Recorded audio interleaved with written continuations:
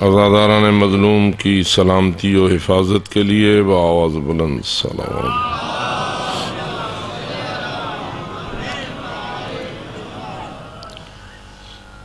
حاجت مندان کی حاجت روائی مریض اہل ایمان کی شفا یابی۔ صاحبان مشکل کی مشکل کشائی کے لیے بآواز بلند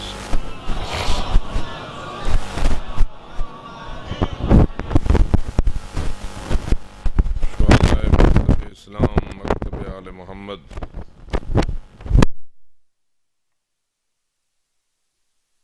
آواز بلند صلوات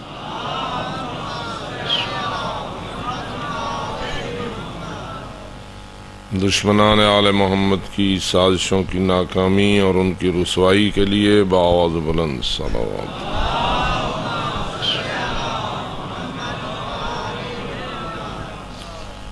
تعجیل ظہور حضرت قائم آل محمد علیہ السلام کے لیے بآواز بلند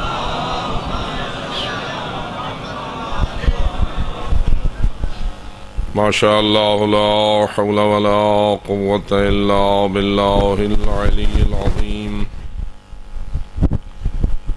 رب اشرح لي صدري ويسر لي أمري. واحلل عقدة من لساني يفقه قولي. أعوذ بالله من الشيطان اللعين الرجيم. بسم الله الرحمن الرحيم. الحمد لله رب العالمين. والصلاة والسلام على أشرف الأنبياء والمرسلين. سيدنا ونبينا وشفيع ذنوبنا وطبيب قلوبنا ومولانا أبي القاسم محمد.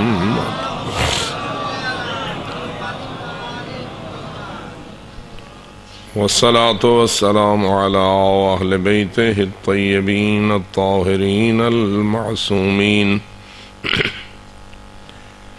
الغر الميامين المنتجبين المكرمين. الذين أذهب الله عنهم الرجس وطهرهم تطهيرا.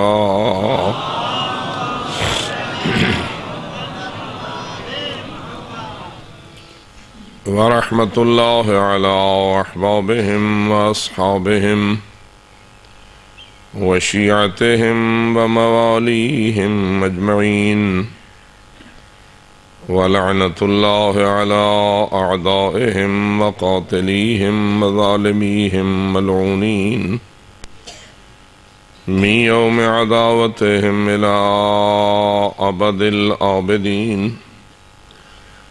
أما بعد فقد قال الله تبارك وتعالى في كتابه المبين وخطابه المتين.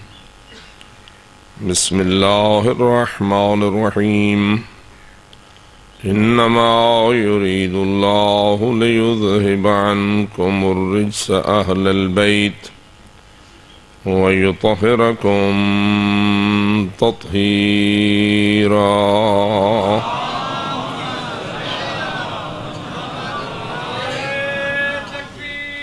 الله أكبر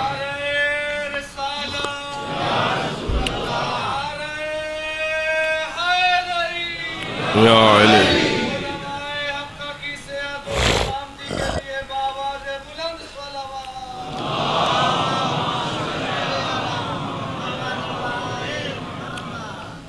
بارگاہ غفور الرحیم میں نیاز مندانہ التجا ہے۔ تمام مرحوم ازاداران آل محمد کو مغفرت کاملہ سے سرفراز فرمائے۔ جن لوگوں نے ازاداری کی یہ قیمتی وراثت ہم تک پہنچائی ہے خدا منان ان کو اس کی جزائے خیر نصیب فرمائے۔ اور ہمیں بھی یہ توفیق بخشے کہ ہم اس کی حفاظت کرتے ہوئے، اس کو ترقی دیتے ہوئے اپنی آئندہ نسلوں تک اسے منتقل کریں۔ اور ہماری نسلوں کو توفیق دے کہ وہ اس کو اور زیادہ ترقی عطا فرمائے۔ خدا منان ہر ایک کی اولاد کو صالح نسل قرار دے۔ ماحول کے برے اثرات سے ہمیں اور ہماری اولادوں کو محفوظ رکھے شیطان کے وسوسے اور شیطانیوں کی چالوں سے محفوظ رکھے حسینیت کا متوالا بنائے۔ یزیدیت کا دشمن قرار دے۔ حسینیت جو سرات مستقیم ہے، اس پر گامزن رہنے کی توفیق بخشے۔ زندگی نور حسینیت سے منور فرمائے۔ موت راہ حسینیت پر عطا فرمائے۔ اور حشر حسینیوں کے درمیان فرمائے۔ اپنی ان دعاؤں کی قبولیت کے لیے بآواز بلند صلوات۔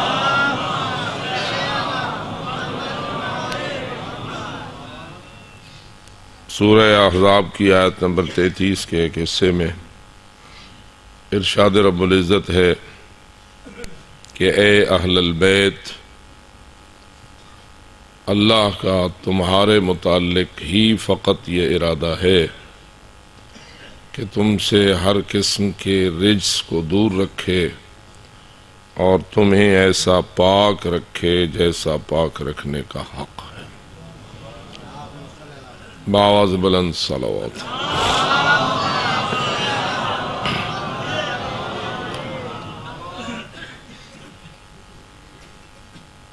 عرض کیا جا رہا تھا کہ خالق کائنات نے انسان کو کامیاب بنانے اور ابدی سعادت تک پہنچانے کے لیے جہاں اس کی سعادت دنیا کا انتظام فرمایا ہے، وہاں اس کی سعادت ابدی اور سعادت اخروی کا نظام بنایا ہے۔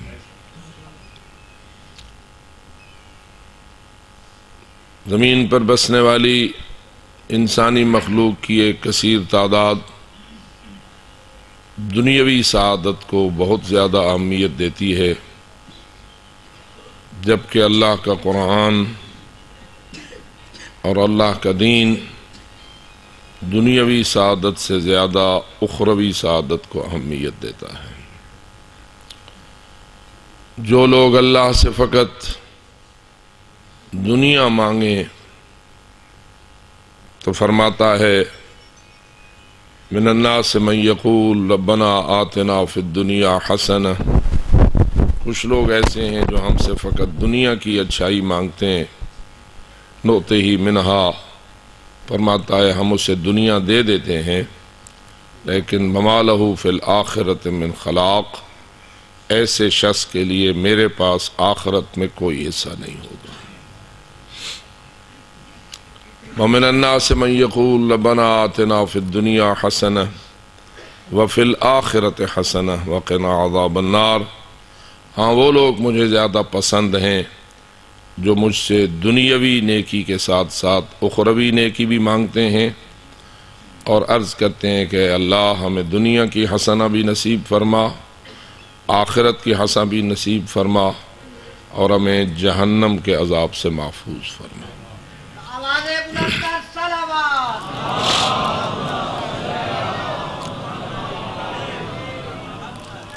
تو اگر میں یہ کہہ دوں جس طبقے کی ترجمانی کرتے ہوئے اللہ نے پہلا جملہ بولا ہے، من الناس من یقول ربنا آتنا فی الدنیا حسن اس طبقے کا تعلق یزیدیت سے ہے۔ اور جس کے متعلق اللہ نے دوسرا جملہ بولا ہے، وَمِنَ النَّاسِ مَنْ يَقُولُ لَبَّنَا آتِنَا فِي الدُّنِيَا حَسَنَةً وَفِي الْآخِرَةِ حَسَنَةً وَقِنَا عَذَابَ النَّارِ۔ اس طبقے کا تعلق حسینیت سے محرم الحرام یزیدیت کے لیے نہیں، حسینیت کے لیے ہے۔ محرم الحرام یزیدیت سے دور کرنے کا نسخہ ہے۔ حسینیت میں غرق ہو جانے کا وسیلہ ہے۔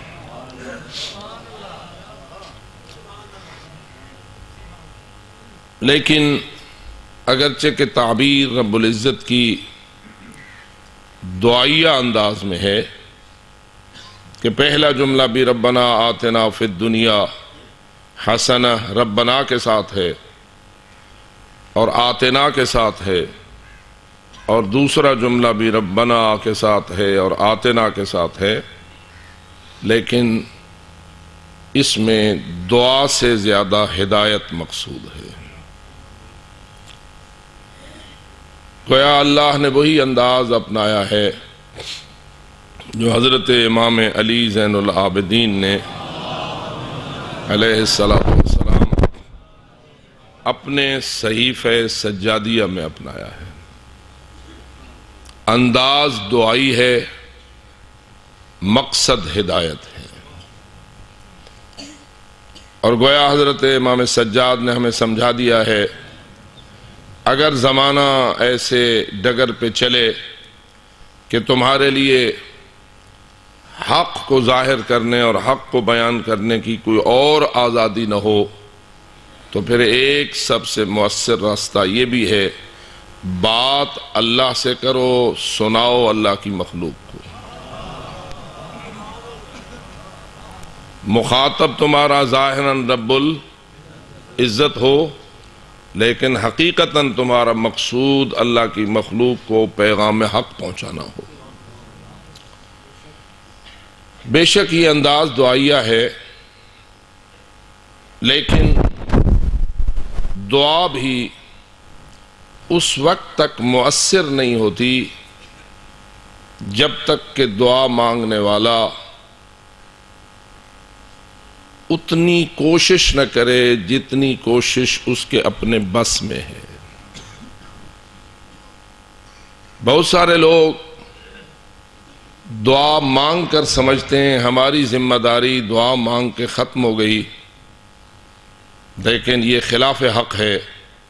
حق یہ ہے کہ دعا مانگ، لیکن اپنی بسات کی حد تک اس دعا کے لیے کوشش بھی کر۔ اگر تو اللہ سے رزق چاہتا ہے، رزق کی دعا مانگتا ہے، تو اللہ یہ کہتا ہے، جو طاقت میں نے تجھے دی ہے، تو وسائل تیرے اختیار میں ہیں، جتنا تیرے بس میں ہے، اتنا رزق کی تلاش کی تو کوشش کر، پھر مجھ سے دعا مانگ۔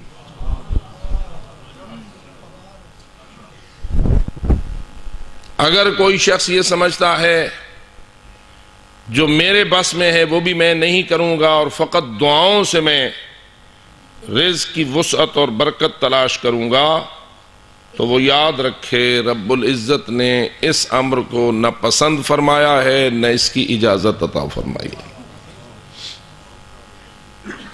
بچوں کو سمجھانے کے لیے ایک مثال یہ ہے، اگر کوئی اللہ سے اولاد مانگے بغیر شادی کے دعا مانگے ہر وقت۔ اے اللہ، مجھے بیٹا عطا فرما، لیکن شادی نہ کرے۔ تو کیا خیال ہے، اس کی دعا میں خلوص ہوگا؟ جی۔ اس لیے کہ شرط ہے،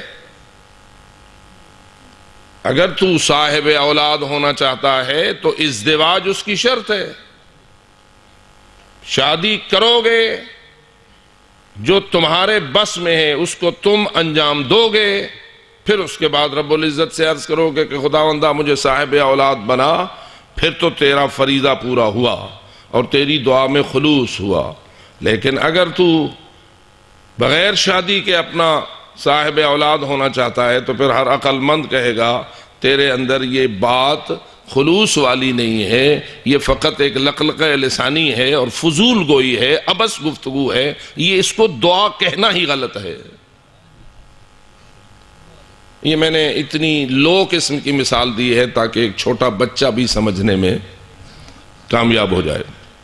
ورنہ واضح ہے کہ جو انسان کے اپنے بس میں ہے، اس کو کیے بغیر اللہ سے مانگنا یہ غیر معقول تو ہو سکتا ہے، کبھی معقول۔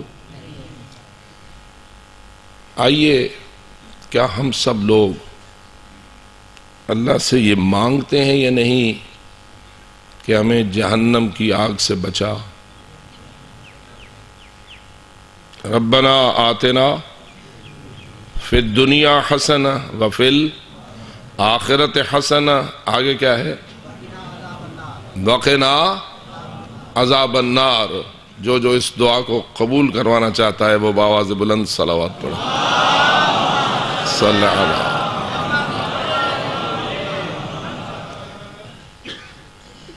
پہلے جہنم سے بچنا ہے یا پہلے جنت کا داخلہ ہے؟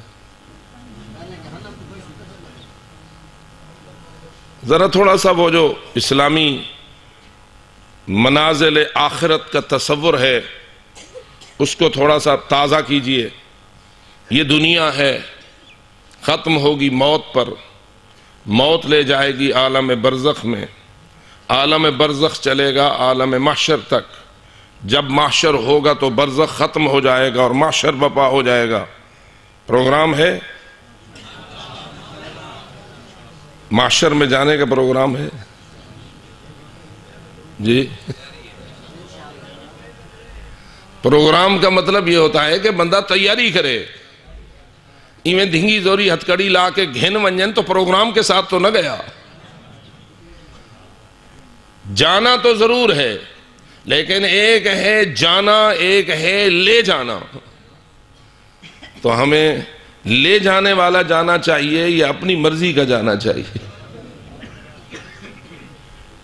تو معاشر کا داخلہ ضروری ہے، برزخ ختم ہوگا تو معاشر شروع ہو جائے گا، یا معاشر شروع ہوگا تو برزخ ختم ہوگا۔ اس وقت تک مرنے والے لوگ کہاں ہیں؟ جی؟ اس وقت تک جتنے مر چکے ہیں وہ کہاں ہیں؟ عالم برزخ میں ہیں۔ کیا ہو رہا ہے عالم برزخ میں؟ یا وہ جانتے ہیں جو برزخ میں ہیں، یا وہ جانتے ہیں جن کو اللہ نے برزخ جنوایا ہے۔ اور انہوں نے ہمیں بتایا ہے۔ کتنی لمبی مہلت ہے برزخ والوں کے لیے۔ جو حضرت آدم علیہ السلام کے زمانے کے لوگ تھے، وہ آج کہاں ہیں؟ جو حضرت نو حضرت ابراہیم حضرت موسیٰ گزشتہ تمام انبیاء کی امم کے لوگ آج کہاں ہیں؟ رسول اکرم کے دور کے لوگ، امیر المومنین کے دور کے لوگ، امام حسن مجتبہ کے دور کے لوگ، تمام ائمہ کے ادوار کے لوگ، حتیٰ کہ آپ کے اپنے مولا صاحب العمر علیہ السلام اجر اللہ تعالی فرج و شریف کا غیبت کا دور زب سے شروع ہوا، جتنے چلے گئے۔ کہاں ہیں؟ عالم برزخ میں ہیں۔ اب ذرا اس دعا پہ غور کر۔ ربنا اغفر لی ولوالدی وللمؤمنین یوم یقوم الحساب۔ اے اللہ، مجھے بھی بخش دے۔ میرے ماں باپ کو بھی اور کن کو بخش دے۔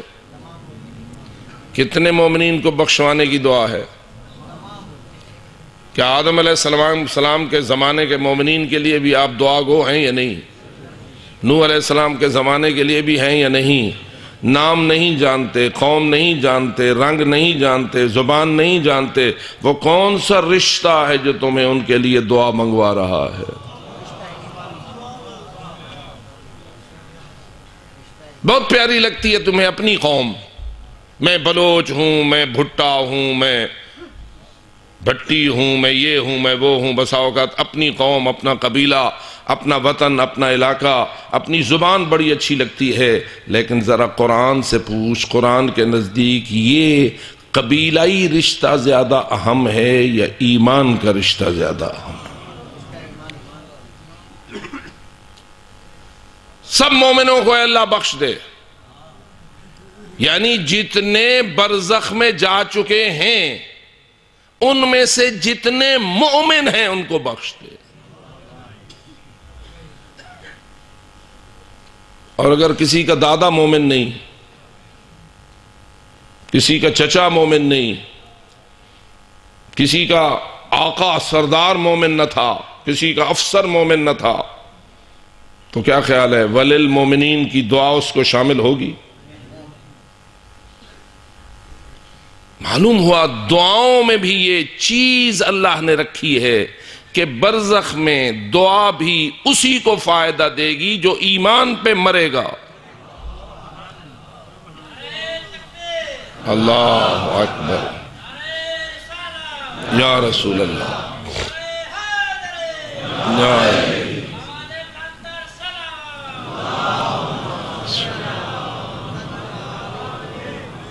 اور مجھے بس اتنا ہی حوالہ شاید کافی ہو کہ رسول اکرم کی حدیث پاک میں جو بین الفریقین، اہل السنہ و شیعہ دونوں میں منقول ہیں کہ رسول اکرم نے فرمایا، یا علی حبوں کا ایمان و بغضوں کا نفاق۔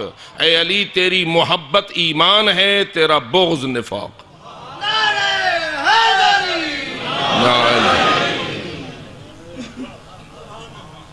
تیری محبت ایمان ہے اور تیرا بغض نفاق ہے۔ میں آپ سے ذرا تھوڑا سا دقیق بات پوچھنا چاہتا ہوں۔ یہ جس کے متعلق رسول نے فرمایا کہ اے علی، تیرا بغض نفاق ہے یعنی جو تجھ سے بغض رکھے وہ منافق ہے۔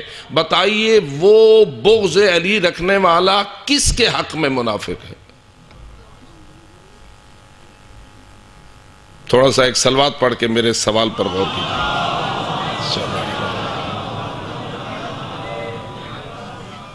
علی کا تو وہ دشمن ہے۔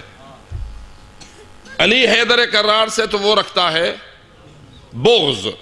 کیونکہ رسول کے جملے یہ ہیں، یا علی حب کا ایمان و بغضوں کا نفاق۔ اور یہ اتنے کوئی مشہور جملے تھے کہ پھر دوسری طرف سے یہ بات نقل ہوئی کہ جب صحابہ پیغمبر سے پوچھا گیا کہ رسول کے زمانے کے منافقوں کو تم کیسے پہچانتے تھے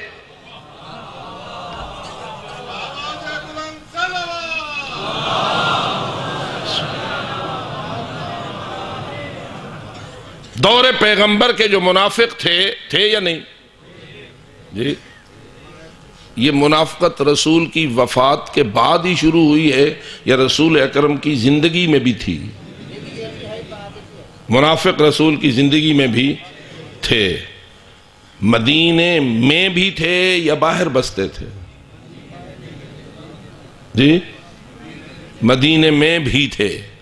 جو مدینے میں تھے وہ مسجد نبوی سے باہر آ کر کھڑے ہو جاتے تھے یا اندر بھی آتے تھے؟ کیا رسول اکرم کی طرف سے مسجد نبوی کے گیٹ پہ یہ لکھا ہوا تھا جو منافق ہے وہ اس مسجد میں داخل نہیں ہو سکتا؟ کوئی حضرت نے وہاں دربان، بواب یا نگہبان ایسے کھڑائے ہوئے تھے کہ جو روک دیتے تھے منافقوں کو کہ تم اندر داخل نہ ہو وہ۔ بابا داخل ہونے سے روکیں کیسے؟ کیا منافقوں کی ایسی وردی ہوتی تھی جس سے وہ پہچانتے تھے کہ یہ منافق ہے؟ بلکہ سچی بات یہ ہے کہ منافق اگر مومنوں میں چھپنے کا نہ جانتا ہو تو منافق رہ نہیں سکتا۔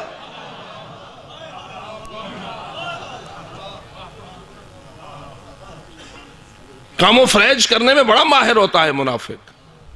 چھپاتا ہے اپنے آپ کو مومنوں کے اندر، ظاہر میں مومن بن کے رہتا ہے، بلکہ عام مومنوں سے بھی اونچا مومن بن کے دکھاتا ہے۔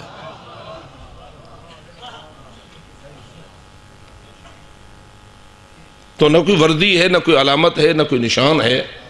اندر آ سکتے ہیں، مسجد کی پچھلی صف تک کھڑے ہونے کی ان کی کوئی پابندی نہیں ہے، بلکہ اگر مسجد کی اگلی صف میں آ جائیں، رسول کے ممبر کے بالکل نیچے بیٹھیں، تو کوئی رکاوٹ نہیں ہے۔ تو یا صحاب پیغمبر، آپ بتائیے دور رسالت کے منافقوں کو تم کیسے پہچان لیتے تھے؟ تو ان کا جواب کتب احادیث میں یہی منقول ہے کہ وہ کہتے ہیں کننا نعرف المنافقین بے بغضہم علی ابن ابی طالب۔ ہم منافقوں کو پہچانتے تھے، جہاں بغض علی دیکھتے تھے، سمجھتے تھے کہ منافق ہے۔ یا علی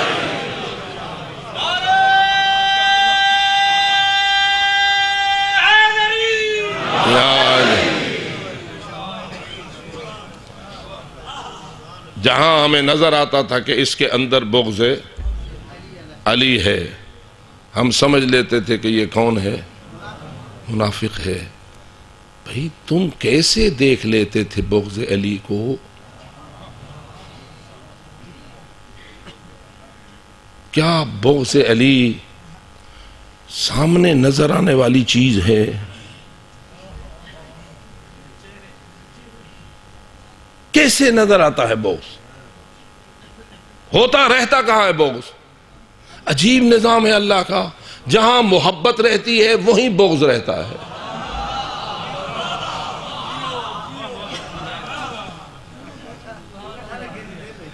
جی مرکز دونوں کا اللہ نے ایک بنایا ہے، پتہ نہیں چلتا ہے کہ یہاں بغض ہے یا محبت ہے، اندر جو ہوا۔ اور علیم بما فی الصدور کون ہے؟ دلوں میں چھپی ہوئی باتوں کو جاننے والا کون ہے؟ ہم میں سے کوئی ہے جو کسی کے دل کی بات کو پہچانے؟ تم نہیں جانتے کہ میری مجلس پڑھتے وقت نیت کیا ہے؟ مجھے نہیں معلوم کہ تمہاری مجلس سنتے وقت نیت کیا ہے، لیکن جس کی نیت نیک ہے، اسی کی مجلس عبادت ہے۔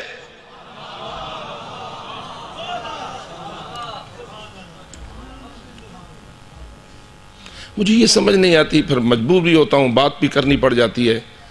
یہ جو مجلس پہ آپ کے تبصرے ہیں، جو بڑے ہمارے ماحول میں مشہور بھی ہیں اور اس کی باتیں بھی بڑی ہوتی ہیں، آج فلانے بڑا پڑھ ہے، آج تب منج کو ڈکتی ہے۔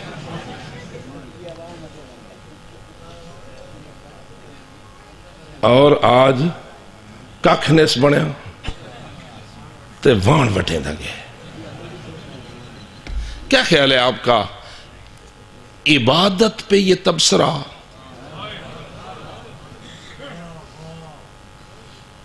یہ تبصرے کون کرتے ہیں؟ سامین کرتے ہیں یا مقررین کرتے ہیں؟ کوئی نہیں آتا میں اجمان وٹے۔ اپنے بارے میں تو کوئی نہیں کہتا۔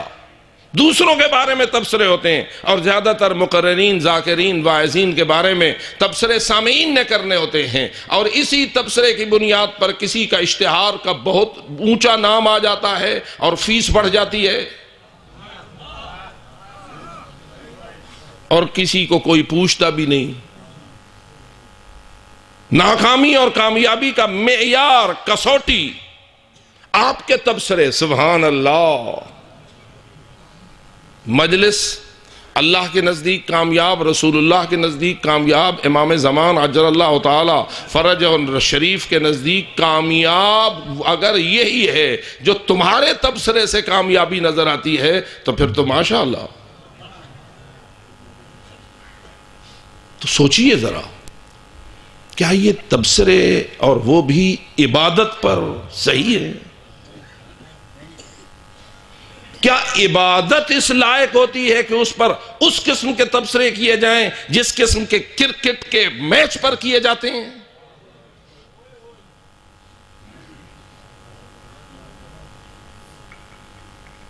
اس لیے کہ میچ ہوتا ہے، لاکھوں دیکھنے والے دیکھتے ہیں، ایک ایک بلے پہ تبصرہ ہوتا ہے، ایک ایک گیند پہ تبصرہ ہوتا ہے، پورے میچ پہ تبصرہ ہوتا ہے اور اس تبصرے کی بنیاد پر ہی کسی کے انعام بڑھتے ہیں، کسی کے انعام گھٹتے ہیں، کسی کو اپریشیٹ کیا جاتا ہے، کسی کو بالکل رد کر دیا جاتا ہے۔ یہ جو تبصرے کرکٹ کے میچ پر ہوتے ہیں، کیا اسی قسم کے تبصرے مجلس جاسی حسینی عبادت پر؟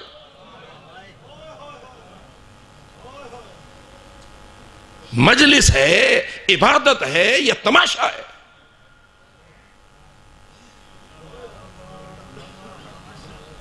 کیا خیال ہے یہ تبصرے کرامن کاتبین نوٹ کرتے ہیں یا نہیں؟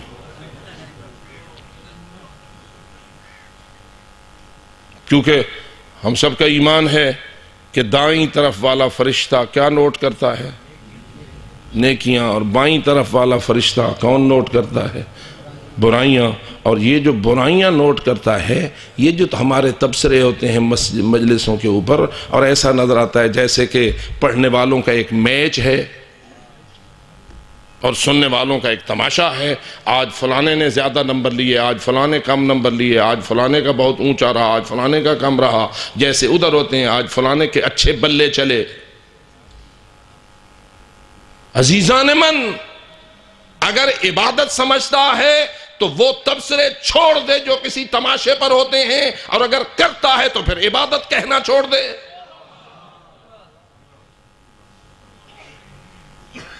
اس لیے کہ عبادت کی روح ہے قصد تقرب۔ عبادت کی روح کیا ہے؟ قصد تقرب یعنی قربتاً اللہ کی نیت۔ نیت میں اگر خلوص ہے تو جتنا خلوص بڑھتا جائے گا، اتنی عبادت کا درجہ بڑھتا جائے گا۔ اور جتنا خلوص کم ہوتا جائے گا، اتنا عبادت جو ہے وہ عبادت ہونے سے نکلتی جائے گی۔ اور نتیجہ یہ نکلے گا کہ اللہ کہے گا، اس نے جس نے عبادت بنا کے اس کو کی ہے، اس کے منہ پہ مار دے۔ اے فرشتو، اس کے منہ پہ مار دو۔ اور اسے کہو، نہ تم نے میرے تقرب کے لیے کی ہے۔ نہ مجھ سے اس کی جزا کے حقدار ہو سکتے ہو۔ بلکہ معصوم نے فرمایا، ریا شرک ہے۔ دوسروں کو دکھانے کے لیے عبادت کا نام شرک ہے۔ بس اس لیے میرے دوستو، اگر ناراض نہ ہوں تو آپ کے ان تبصروں نے اور آپ کے اس انداز سماعت نے اور آپ کے اس انداز مجلس نے جتنا مجلس حسین کو نقصان پہنچایا ہے، اس سے بڑھ کر کسی چیز نے نہیں پہنچا۔ اگر آج ہدایت کی بجائے گمراہی اس بازار میں بکتی ہے۔ علی کا فرمان ہوتا نہیں بنا لیا جاتا ہے۔ امام کا ارشاد ہوتا نہیں بنا لیا جاتا ہے۔ امام کے ساتھ وہ واقعہ پیش ہی نہیں آیا ہوتا جو گھڑ کے بنا لیا جاتا ہے۔ یعنی اگر من گھڑت قصے اور جعلی قسم کا دین مجلس بن کر تیرے ممبر پر آ گیا ہے تو اس میں زیادہ دخیل تیرے یہ تبصرے ہیں اور کامیابی و ناکامی کا معیار ہے۔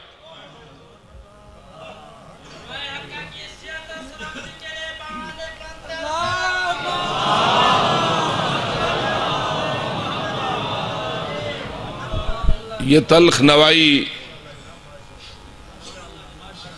ناراض تو ہو جاؤ گے۔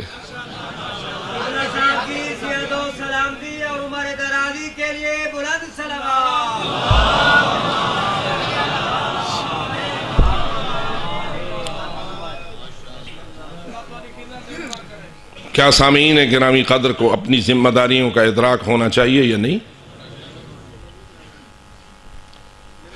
اگر آج مجلس پہ یہ تبصرے ہیں، کل نماز پہ یہ تبصرے ہونے جائیں، پرسوں حج پہ یہ تبصرے ہوتے چلے جائیں۔ مجھے نہیں سمجھ آتی، ماتم پہ آپ کے یہ تبصرے ہیں نوا خانی پہ آپ کے یہ تبصرے ہیں، قصیدہ خانی پہ آپ کے یہ تبصرے ہیں۔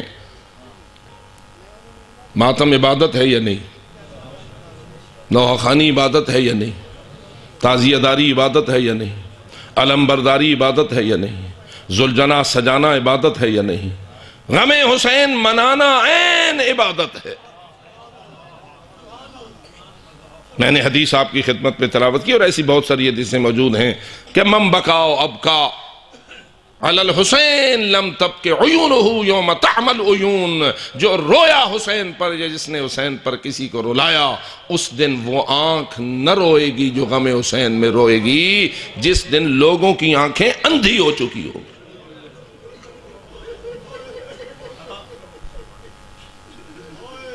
تو رہے کتنی بڑی عظیم عبادت ہے۔ یہ وہ عبادت ہے جو ائمہ نے اپنے گھروں میں قائم کی۔ حضرت امام زین العابدین علیہ السلام سے لے کر حضرت امام حسن عسکری علیہ السلام تک تمام ائمہ کے گھر میں جب محرم کا حلال رویت پہ آتا تھا سوک کا سامان بن جاتا تھا۔ بعض ائمہ کے متعلق تو منقول ہے کہ مسکراہٹ لبوں پہ نہیں دیکھی جاتی تھی۔ مرسیہ خان بلائے جاتے تھے، پردے لگائے جاتے تھے، دے خزائی اور اس قسم کے مرسیہ خانوں کو امام خود دعوت دیتے تھے۔ اور پھر روایات میں یہ جملے بھی موجود ہیں کہ روتے جی بھر کے امام جعفر صادق علیہ السلام زارو قطار روتے حضرت امام رضا علیہ السلام۔ اور کبھی کبھی اتنا رونا ہوتا کہ پس پردہ بیٹھی ہوئی بیبیوں کے رونے کی آوازیں بھی سنائی دیتی۔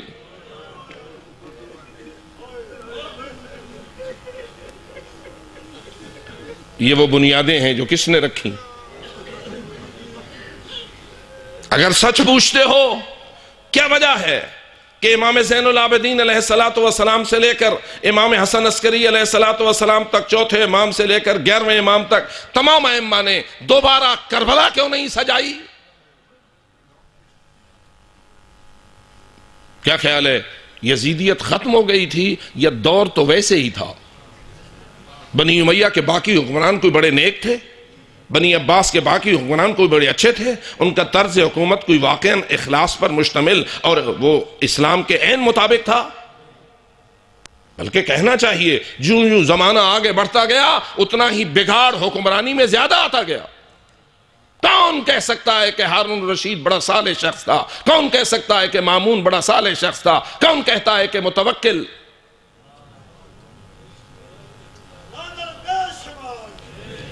جو قبر حسین پہ حل چلوائے سامنے آئی ہوگی اور امام حسین نے اشارے کیے ہوں گے، یہ وہ جگہ ہے جہاں مجھے قتل کیا جائے گا۔ یہ وہ جگہ ہے جہاں ہمارے خیمے لگے ہوئے ہوں گے۔ یہ وہ جگہ ہے جہاں ہمارے دشمنوں کی فوجیں کھڑی ہوئی ہوں گی۔ ہاضا محبت و دماغنا وہاضا مناخ و رقابنا۔ اور میرے الفاظ میں اگر کہہ دوں، اے بی بی، یہ جگہ ہوگی جب میری گندن پہ شمر کا خنجر چل رہا ہوگا۔ اور یہ وہ جگہ ہوگی جہاں زینب کبرا؟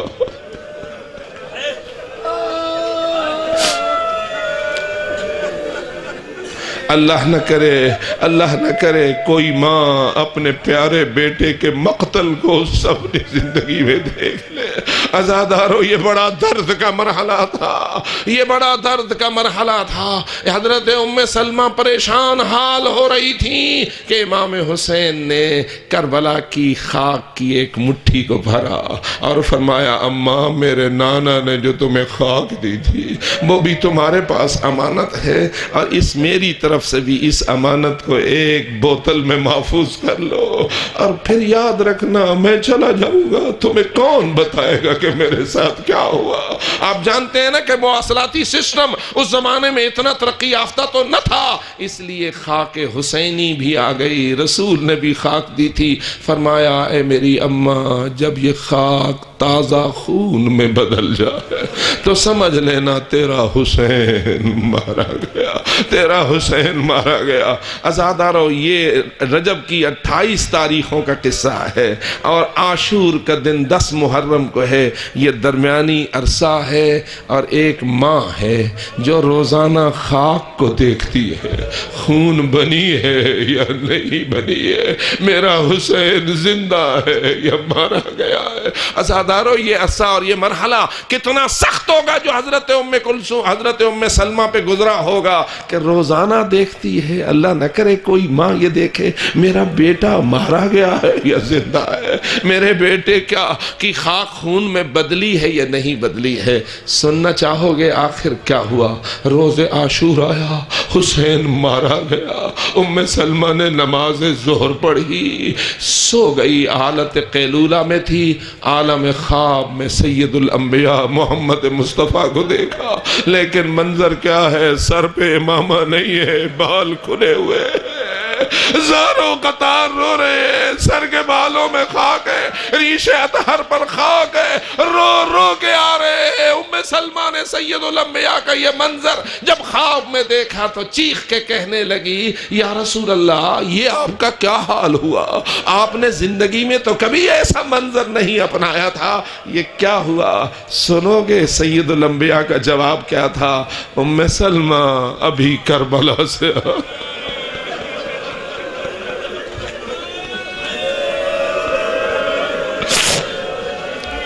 میرا حسین مارا گیا۔ یہ سننا تھا کہ چیخ نکلی حضرت ام سلمہ کی، خواب ختم ہوا۔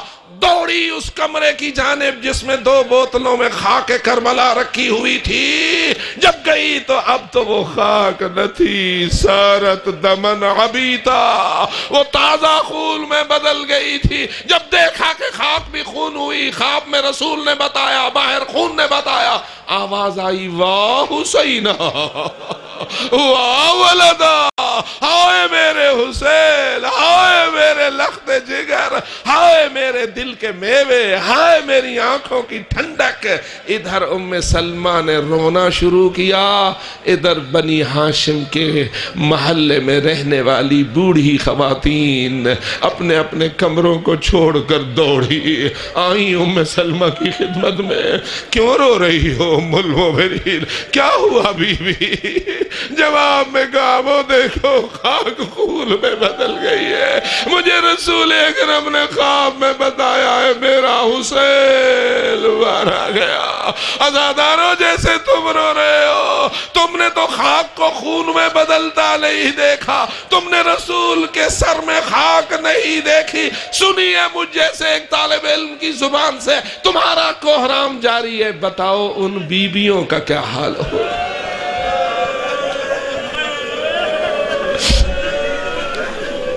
ان بیبیوں کا کیا حال ہوگا؟ بس آخری جملے آپ کی زحمت کو رفع کروں۔ ازادارو یہ بیبیاں کون تھیں؟ ان میں کون کون بیبیاں تھیں؟ تفصیل میں تو نہیں جا سکتا، لیکن اتنا کہہ سکتا ہوں۔ ایک بی بی ان بوڑھی بیبیوں میں، وہ بھی تھی جس کو ام البنین کہا جاتا۔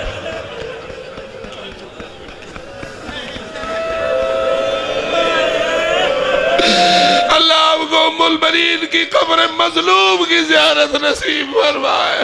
جنت البقی کے زیارت کے شرف سے مشرف ہو وہ۔ آج بھی جنت البقی کے ایک کونے میں سوئی ہوئی ہے ام البنین، جسے اللہ نے چار جوان بیٹوں کی ماں بنایا تھا۔ لیکن اس نے اپنے چاروں جوان حسین پہ قربان اور کربلا بھیج دیے تھے۔ اب مجھے بتاؤ، جب آواز آئی ہوگی، واہ حسینہ!